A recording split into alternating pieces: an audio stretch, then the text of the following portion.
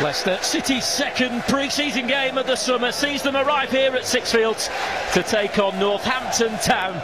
The Cobblers fresh from their promotion to League One. The big kick-off of both of these sides is just three weeks away.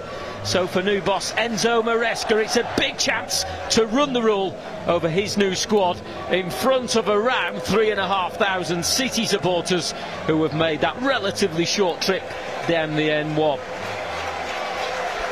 mention that Maresca's starting 11 includes all three of the Foxes summer arrivals. Conor Coady, Harry Winks and as of yesterday, Callum Doyle.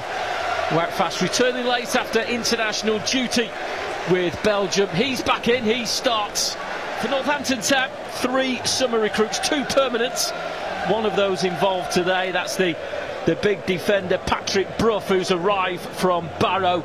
And they've also got striker Kieron Bowie He's rejoined on loan from Fulham after a successful spell here and been part of that promotion. In terms of opposition, Matt, what are we expecting from, from Northam today? Looks very very old school, should we say? 4-4-2, Enzo Maresca predicting, I think, pre-match it would be quite a physical kind of Route 1 kind of game. Yeah, yeah, you would um, predict it that way. I know perhaps a little bit simplistic to do so, but I mean, you look at them physically, they're they're quite imposing, aren't they? Northampton there, as, as the teams walk past each other, shaking hands.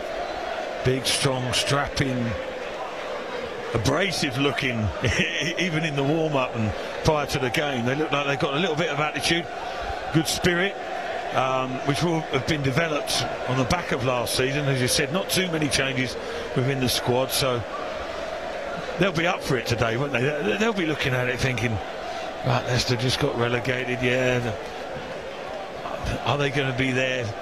And it sounds a bit extreme, but there for the taking with this opportunity, albeit just a pre-season game.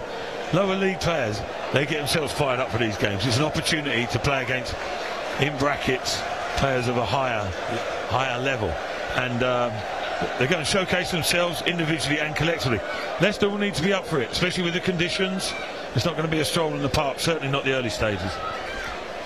We were talking pre-match about what the formation will look like, and from a Leicester point of view, looks like a back four with Callum Doyle at left back. But as we we kind of heard after the reports from the game against Peterborough at the training ground during the week, it did see uh, the right back Ricardo and James Justin in the second half moving into midfield positions and that will see Kyle Doyle move across to almost form a back three when Leicester have possession once again. Well, you say gradually, he's only 19 John, yeah? Yeah, yeah. So, it hasn't taken him that long I suppose but uh, I get your drift, he's played at different stages hasn't he but Leicester well fast on that occasion trying to play the long ball again, he's gone directly out of play, conditions on the march cross. Fassett slipped with the attentions of a Pere, and then it was flipped away by Ricardo for another Northampton corner.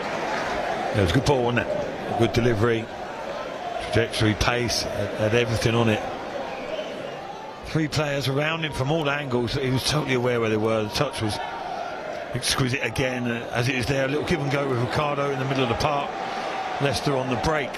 Can they keep the momentum with this attack? It's Praet to Castagne. It's a ball curled into Vardy. Holds off his man before looking for Madivadua, drifting in from the left. It was Winks. It's back to Madivadua.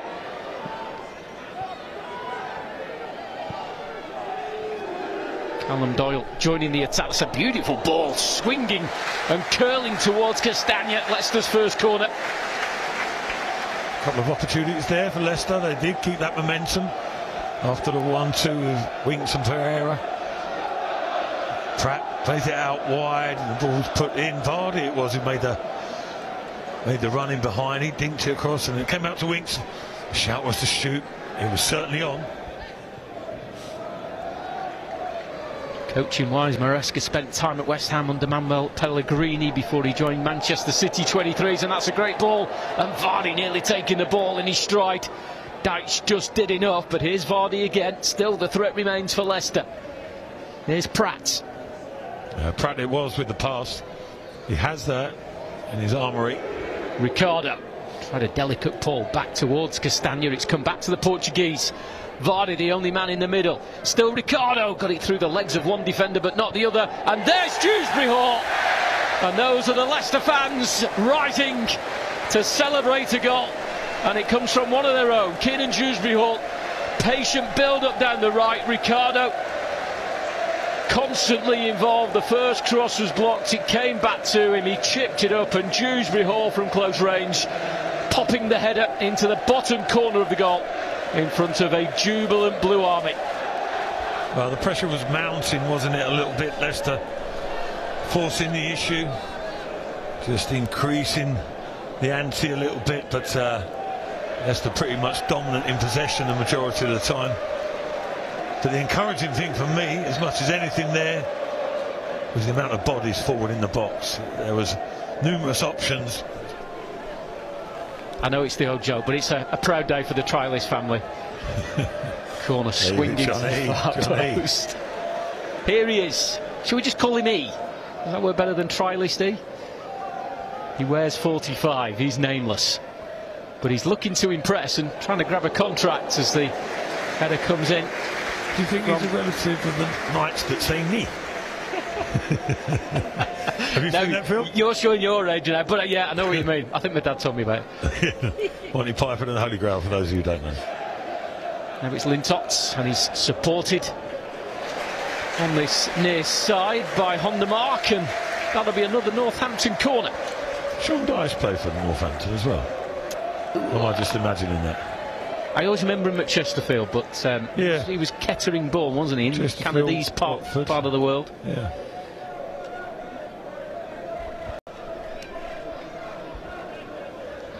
Final 10 minutes of normal time. This first half. Kiernan Dewsbury Hall with the goal. If you're joining us slightly later from a, a Saturday afternoon out. Soon Saturdays will be filled with football once again as Stolarczyk and Coady both went for the ball that's still bobbling around and Stolarczyk taking control of the situation. Conor Coady just rubbing his head and I'd be too happy. I mean, the, the keeper, sort of, there must have been a, a little bit of a shout, seemed too late, solid, physical. And that's going to be the case on a number of occasions, even in the Championship. It's an edge that Leicester bring, need to bring to their game. Good first time ball by Madivadua to Vardy who shoots wide. He was caught late as well by the Northampton defender sliding in, but he's quickly, acrobatically bounced back to his feet. Brilliant first time ball by the youngster Madivadua. Yeah, good awareness by. I think his best bit of play in the game. That's what he's capable of. You know, flashes of, of excellence there.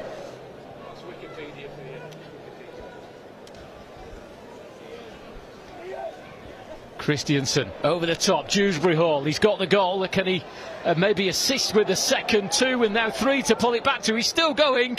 Burge got a touch, but Vardy, his shot blocked. Dennis Praet straight at Burge. Well, some real excitement early in this second half, and Dewsbury Hall driving forward.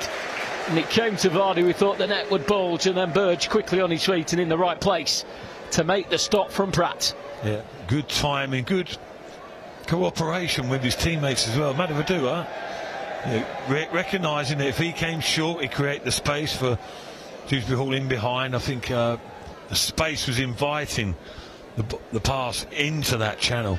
Dewsbury Hall just striding away. It looks like a queue for two buses, the way the players have just lined up on the side of the pitch. Good luck, everybody. Here we go. That's quite a show of strength, though, isn't it? From Leicester's point of view. I mean, Northampton looking across going, that's a championship team. Basically, nine changes are they making, it looks like. Faes, Coady, Castagne, Ricardo, Praet, Winks, Vardy, Uh-oh. Dewsbury Hall, Madivadua going off, Choudhury, Vestergaard and Ndidi, James Justin, Patson Daka, uh, Marc Albrighton, Kasey McAteer. I think I've grasped everybody there. Souttar looks a couple of inches taller or so on him. Not, not as heavily built, but Corner is dealt with without Souttar or Vestergaard getting involved. It, it's the uh, they should be menacing, John. Put it that way. If they're not, questions need to be asked. McAteer. He's wriggled free. And he set one up for Souttar where you thought the height would be the advantage. Maybe he almost rose too, too soon for that one. And the header has dropped over the bar. He's got a little bit McAteer, hasn't he? I've seen him in the 23s. Seen him play the first team um, down at Gillingham. Yeah. I thought he performed pretty well. He's, he's got a confidence about him. He doesn't look overawed. You know, he looks like he, he thinks he's at home in this sort of company. Made his Leicester debut early last season in the, the Carabao Cup draw at Stockport, became the penalty hero. Went on to make 12 Premier League appearances towards the end of the campaign. Daka's backheel to McAteer, a lovely ball to Iheanacho, and then it's Ndidi and it's wide. Northampton cut apart down the Leicester left, and when it came back to Ndidi, not renowned for his goals, as he swung his left boot at the ball, and it's a shot that goes wide. For how long for and at what intensity and especially for a new manager still getting to know these players and you yeah. may have seen a difference from training to, to what he's seen in the game and Ndidi again it's a trademark down that right side and this time he set one up towards McAteer good defending on the far post by Peter Abimbola Here's a chance for Kristiansen. Abimbola there again, and then it's James Justin into the ground and tipped over the bar by the youngster James Dadge. Leicester so close to a second goal. Well, you wouldn't be surprised if it was to arise, wasn't it? But indeed, again, yeah. I mean, we talked about Dewsbury Hall in the first part of this second half being a, a main feature. So is Wilfred and Ndidi on the opposite side. On that, that, that diagonal uh, forward running. Understandably, it's just petering out of touch, but uh, still work to be done stay mentally focused. A few Leicester supporters leaving early and heading up the giant hill behind that goal to the left, which the shot comes in on. Well, it was Trialis P looking to stand out with the free kick that was touched around the post by Daniel Iversen. I think he's questioning the wall a little bit there, but he was on hand to make a, an acrobatic save. It was a hell of a strike, wasn't it? He runs a bit like you, doesn't he? 42. He's got the same silly little quip as well. Traffic when you've seen me running. Away from the bar. and there is full time. Not before time, before Matt continues. Leicester win it then by a goal to nil. The goal coming in the first half with Kiernan Dewsbury Hall's header. 27 minutes in. Another workout for Enzo Maresca and his new side in the second half. Leicester certainly threatened the goal, but just couldn't quite find a, a second. Vardy and Praet and Ndidi, Daka all coming close, and then we saw the young goalkeeping substitute James Dadge making a, a very important save to deny James Justin. The Leicester City fans starting to depart, but they will applaud off their players before doing so.